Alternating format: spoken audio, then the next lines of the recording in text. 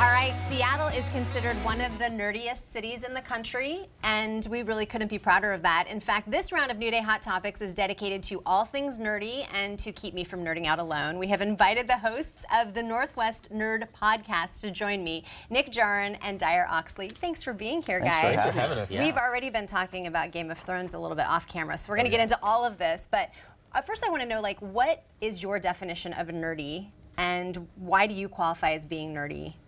Uh, nerdy for me. So for us, one of our driving tenets for our podcast is that nerdy is an inclusive term. Yeah. If you've ever been called nerdy, identified as nerdy, if you can nerd out about like the statistics of something that other people really wouldn't know if they were just average fans of something, you're a nerd. Okay. You can be a nerd about anything. Typewriters, like he's a typewriter nerd. That's me. Are you? Do you like old typewriters? Yeah. Oh, yeah. excellent. We I can- got we a have so much more to typewriter talk guy and everything. Yeah.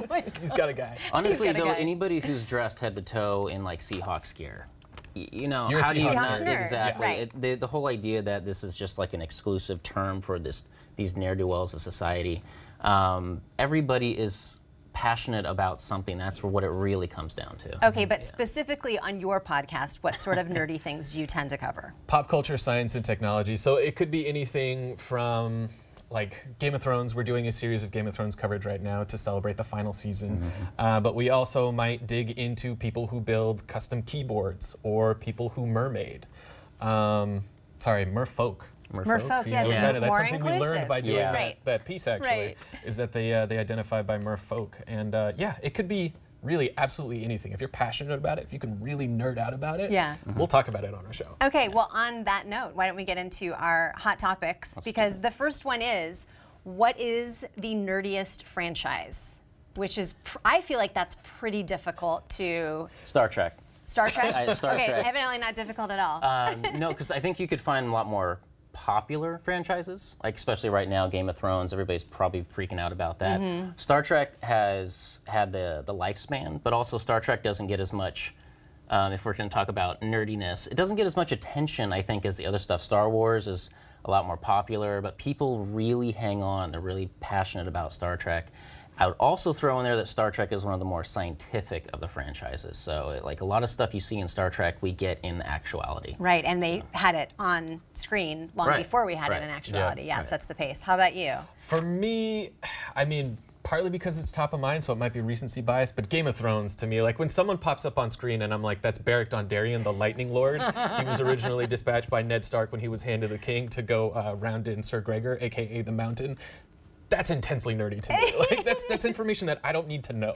I also feel like it's nerdy because as you're saying that, I'm like, no, yes, all of Yeah, that is true. that yeah, that's out. correct. Yeah. I also though think that Star Wars has a longevity and a reach that is um, maybe the most popular in terms of general audiences. But you know, when that most recent trailer dropped, I was just like agape and watched Mm-hmm. it like six times, and it filled me with joy from my childhood, which I think is kind of cool. All of these, though, we should say, And are you worth cried a nerding out on. right? A little bit. Okay. When come on, when Carrie's on there, when Princess Leia's on the screen, yeah. I'm not the yeah, general. I'm not ready yeah, was- I'm not. I'm not ready for it either. Okay, so on that subject, um, we're going to go to our, our next topic, which is uh, this uh, YouTube reactioner. Okay, so this is a guy, um, Eric Butts is his name, and his whole YouTube deal is that he watches things and reacts to them in real time. And he recently had a reaction to the very thing that we were just discussing, Star Wars trailer. And here's what happened.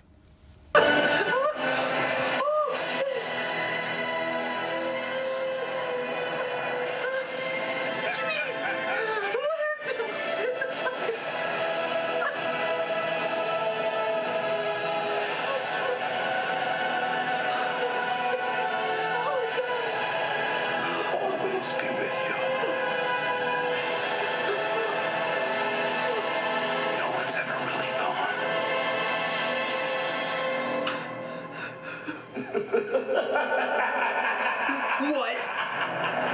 No, the Emperor.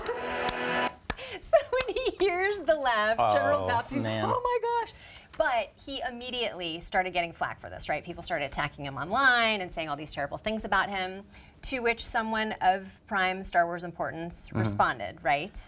That is, first of all, that is the appropriate reaction to Lando. I all right? if you see Lando, that is the appropriate reaction. Yes, and look at Mark Hamill, right? Mm-hmm. Luke Skywalker himself writes, thanks him for sharing that kind of reaction, um, and says, I salute you.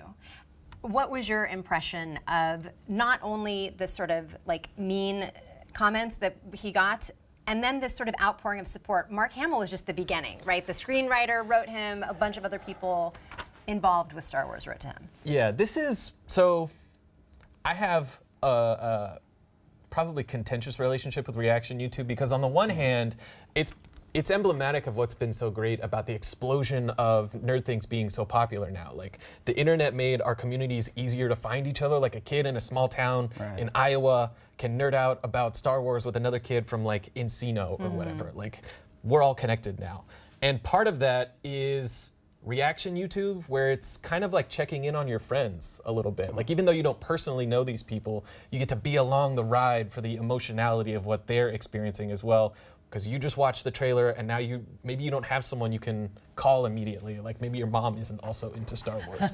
um, so you go on and you watch these videos and it's it's clearly over the top. Right. Like you might cry a little bit, but you're not like like really like boosting yourself up about it. So That's I get part of why. the performance art of YouTube, though, too, right? yeah, That's what gets you sure. the clicks. That's why YouTube voice Right. is a thing. Right. Um, so I get why some people would would make fun of him, but that's also part of being an online person. Right. I mean, we get made fun of for fill in the blank. Everything, yeah. Everyone gets made fun of Yeah, for everything. yeah. yeah, I mean, Typewriters. Um, yeah. yeah, let's go back to that. I'm not Yeah, surprised. I'm also not surprised that that's Mark Hamill's response. That's just his personality. There's a lot of actors who have had iconic roles and maybe try to shy away from them and be, oh, I'm a broader actor. Yeah. Mark Hamill will pick up a lightsaber and go on screen. He's totally into it. He's also just one of the best um, subjects of fandom you can, I think, have. Yeah. Yeah. He's yeah. He's just One a of the best people at using emojis. I didn't realize Yeah. he was signing his name Mar Camel emoji. Yeah, camel. I know. Yeah, it's pretty. He's pretty creative. Okay, so another thing recently happened that got a lot of blowback online, which was George Lucas mm-hmm. oh, named his favorite character from Star Wars, and out of all of the characters in all of the galaxies, he chose Jar Jar Binks. Mm-hmm. I'm not surprised. Okay, why are you not surprised? Is he just doing this to pick a fight with people, or does he genuinely feel this I way? think he genuinely feels this way. I I don't know. We can speculate on a, a million different ways. Maybe he had less yes men around when Yeah. he made Star Wars, and actually had people saying, maybe that's a bad idea. And by the time he actually made Star Wars, and people would just let him do whatever he wanted, and when he made Jar Jar Binks, nobody was around to say, maybe not. You know. Yeah. Um, but these, I mean, he made it obviously for children. So the latter Star Wars or the prequels were more for kids. And um, Jar Jar Binks is definitely trying to capture that uh, Ewok nature that, that Star Wars has always had. Right. Um, but it just was not, it wasn't successful. It wasn't performed very well. Maybe in his mind, yeah, that, that could be his favorite character. But I mean, Right. it's totally understandable what the rest of reality can see that that was not. You know the good one thing that fixes Jar Jar Binks? Just Not- make him a droid. Okay. If he's a Yeah. droid, he's just like C3PO or R2D2, and suddenly it's like way cuter that He's like he's the over the top and ridiculous. You're right. I was going to say maybe the one thing that fixes him is just to keep him out of the movie. Maybe not. Yeah. yeah. just from any time that they re-release uh, the Blu-ray. man. okay, we only have time for one more, but Oh, we, wow. we have to talk about it because it's the week.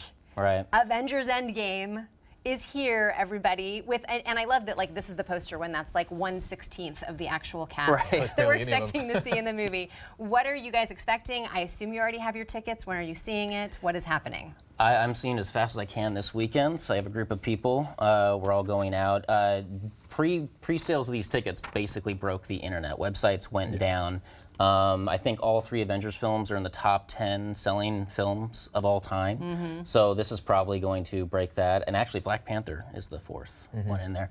Um, I, it- I was shocked. I realized this today. If you were 10 when Iron Man came out, right? A 10 year old that went and see Iron Man and grew up with this. You could go see Endgame and celebrate with a beer today. That's how long these movies have been going. That's how long this narrative has been working itself up mm-hmm. since 2008 to now, over 20 films. And this is like the Yeah. So this is a big deal. This is something to cry over. Yeah, right that here. is Yeah. something to cry over. And so, and it, it, this is deserving of the worldwide panic attacks that people are having trying to get their I tickets. mean, I don't have tickets yet, and I'm gonna kind of buck my nerd cred here because I'm not that excited about this movie. oh, I think that it's overblown. I think that the Avengers movies writ large are much more successful as a marketing campaign than actual creative endeavors. Like Infinity War was the best one. The first two are not good films. They're just We've not had good arguments. Try about this. one. Well, and, and I would also say, like Captain America, uh, Winter Soldier was probably tops my list. Yeah, of, Yeah. but again, like films, not yeah. an Avengers movie. Right. There's no. Well, yeah, but I mean, and, look, we've argued about this at length on I know. the I feel like you guys are getting. Yeah. This is like a live is- look yeah. at what their podcast is Yeah. all about. So we want to direct you guys to that podcast, Northwest Nerd Podcast. Episodes come out on Thursdays. They are currently all in on Games of Thrones, obviously. But to catch up on what you've missed out on, just go to our website to get a link to the podcast. Thanks for being here, you guys. Super fun. Thank and you. coming up, we are heading to the kitchen to make a dessert from one of Leavenworth's most popular restaurants. Be right back.